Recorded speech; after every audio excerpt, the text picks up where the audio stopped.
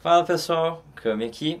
Eu vim falar para vocês sobre essa notícia que saiu, que se espalhou rápido, que eu não estou inscrito uh, pelo time da PEN no primeiro split do CBLOL desse ano de 2018. E é verdade, eu não estou inscrito de fato, não foi erro. Eu até brinquei no Twitter, mas foi, foi de fato que aconteceu. E eu vou explicar para vocês um pouquinho uh, sobre o porquê disso nesse vídeo.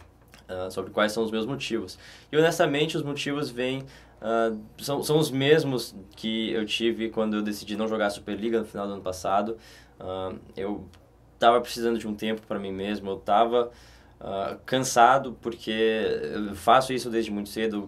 Comecei eu virei pro player em 2011, final de 2011, então desde meus 15 anos eu me mudei para São Paulo com 16, 17 e desde então eu tô fazendo isso, vivendo isso, respirando LOL, só LOL, só LOL, só LOL, só LOL, só LOL. Então, uh, eu decidi que eu cheguei. Eu cheguei no momento em que eu precisava tirar esse tempo pra mim, porque não ia dar, eu não tava conseguindo dar meu 100%. E eu acho que aí você entra em dois problemas. O primeiro problema é que se você não está conseguindo dar o seu 100%, porque você não está feliz fazendo o que você quer, uh, não é legal você continuar se forçando a fazer algo, porque não vai mudar. Se você não está gostando, não está feliz, não tem por que continuar se forçando a fazer um negócio assim. Segundo, porque uh, eu acho que isso é injusto consigo mesmo e com o próprio time, porque se um pro player, eu sou a favor disso, se um pro player não tá afim de jogar 100%, ele precisa ser honesto com o time e falar, cara, não tô afim de jogar 100%, porque uh, é, o LoL profissional, ele é um, um negócio onde todo mundo precisa estar tá dando o seu máximo o tempo inteiro. Se você olha pro outro lado e vê seu companheiro não dando o melhor dele, você não vai se sentir bem. Então eu não quero ser esse cara que não vai estar tá dando o seu 100% ali.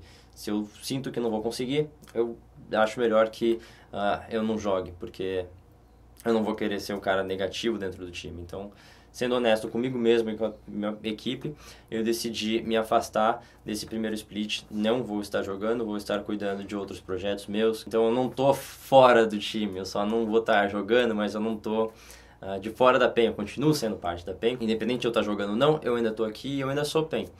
E de uma forma ou de outra, os meninos estão se dedicando uh, bastante. Eu sei que eles estão vindo com muita garra para esse split agora e eu tenho certeza que eles vão dar o melhor deles. Então, acho que teve um, um 2018 conturbado na PEN, um 2017, desculpa, conturbado na PEN.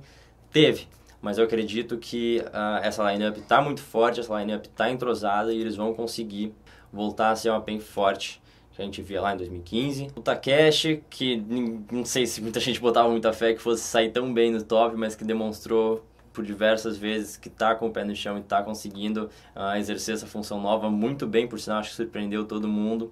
O Lupe, que está sempre com o pé no chão, dando as melhores calls uh, e mantendo o Márcio na linha. O Márcio, que de jogador revelação por cinco anos consecutivos, agora é um dos melhores AD Carries do Brasil, se não o melhor AD Carry do Brasil, que vai continuar se provando uh, nesse ano.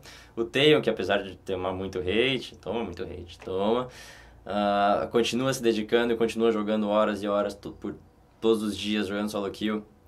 É o último a dormir, porque está sempre jogando. Uh, e o Tim, que veio para me substituir, e sempre botei muita fé no Tim, ele é, ele é quietinho, mas ele tem uma mecânica muito boa e acredito que uh, vai ser crucial para o time nesse ano. Então, acredito que talento a gente tem, é só a gente saber trabalhar esse talento e aproveitar o máximo o potencial dos jogadores, porque a PEN está muito forte. Então, eu vou botar fé nisso e põe minha mão no fogo pelos meninos. De uma forma ou de outra, jogando ou não, eu vou continuar representando a PEN, vou continuar usando a camisa da PEN, só não como player. Mas eu vou estar tá lá, vou os eventos que eu for, eu vou ir como PEN, as lives que eu fizer são live PEN Kami, então uh, não muda tanta coisa, só não vou estar tá jogando no fim de semana. Mas fora isso, uh, continua a mesma coisa. Enfim, acho que a mensagem do vídeo é basicamente essa. Eu decidi me afastar, mas eu continuo sendo PEN, vou continuar torcendo pela PEN e espero que vocês continuem também torcendo pela PEN, porque esse é o nosso time, então a gente precisa continuar torcendo por ele, porque PEN não é modinha, PEN é tradição.